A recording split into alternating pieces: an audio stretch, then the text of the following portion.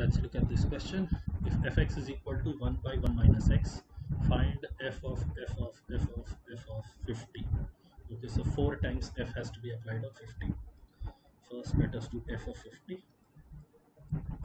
this will be equal to minus 1 by 49 okay so f of f of 50 will be equal to 1 1 by 1 minus 1 by 49 so 1 plus 1 by 49 so this will be 49 by 50 okay.